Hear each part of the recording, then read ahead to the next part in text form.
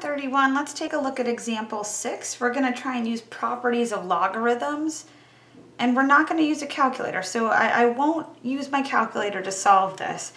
And as I mentioned in the previous examples, if I wanna start simplifying logarithms, meaning I have multiple logarithmic expressions and I wanna collapse them into one log, the first thing I'm gonna do is move the powers up. So I should say I should move the coefficients up to the exponents. There is no coefficient in front of this term, or really it's a 1, so I can't do anything there. But this will ultimately become log base 9 of 3 squared minus log base 9 of 3 to the 4th plus log base 9, ooh, I'm almost running out of room, 1 over 729. Okay, so there's a couple of things you can do with this term. We'll talk about that in just a moment. Here, I want to actually play these numbers out. So this is log base 9 of 9 minus log base 9. All right, 3 to the 4th is 81. And this is log base 9 of 1 over 729. So there's a couple of things you can do just depending on how you see this. So I, I want to give you some options. I'm going to show you a couple of ways to handle this. Here is one version, okay? I'm going to do it one way and then I'm going to erase my work and I'll show you a different way. Maybe you're saying, well, Miss A, I see a quotient, so I could do the quotient rule. I can make this log base 9 of 1 minus log base 9 of 729. And that is totally correct. That, that's legit. You can do that.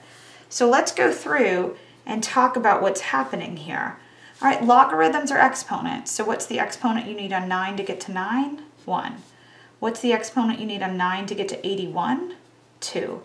What's the exponent you need on 9 to get to 1? 0. What's the exponent you need on 9 to get to 729? Now that one might not be on the tip of your tongue or the tip of your brain, but let me show you just so we're all on the same page here. Oops, let me clear this out. If we did 9 cubed, that sure enough does get you to 729. All right, so this becomes minus 3. So 1 minus 2 is negative 1, negative 1 plus 0 is negative 1, negative 1 minus 3 is negative 4. All right, so that is one way to go and attack this problem. And I said there were a couple of ways to do this, so let me show you a different version.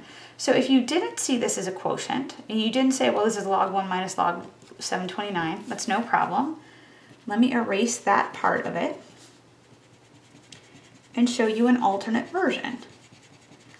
Maybe you said, well, I have a fraction here, and I know that deals with negative exponents. So I know this is log base 7, excuse me, log base 9 of 729 to the negative 1. Maybe you just saw that as the reciprocal of 729, and you said, well, now I'll use the power rule and bring this down in front so this would then become minus log base 9 of 729. This is going to take me one extra step. So then this would become, excuse me, all right, 1 minus 2, and then we know log base 9 of 729 is 3. 1 minus 2 is negative 1, negative 1 minus 3 is negative 4.